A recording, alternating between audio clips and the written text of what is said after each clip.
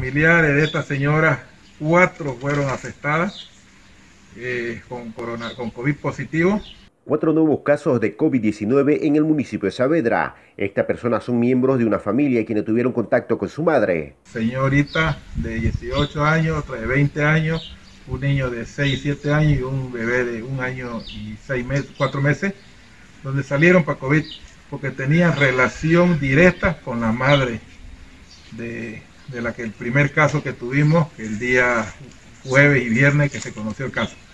Gracias a Dios sí que estas dos, cuatro personas están bien de salud, son casos portadores positivos.